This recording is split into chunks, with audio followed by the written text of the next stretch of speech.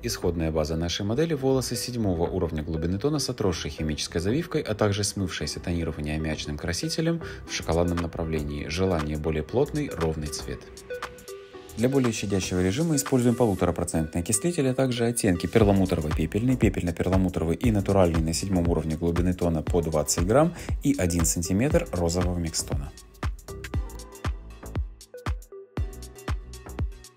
Нанесение будем выполнять в три круга. Первым этапом, разделяя волосы широкими проборами, наносим на корень и прикорневую зону. На втором круге донаносим опять же на прикорневую зону и протягиваем до середины, но не прокрашиваем самые концы. Ну и третий этап, уже распределяем краситель непосредственно до самых кончиков, постоянно эмульгируя волосы руками, чтобы не допустить ни одного непрокрашенного участка. Краситель смываем водой максимально обильно, после чего приступаем к трехступенчатому уходу от Кералекс Протокератин.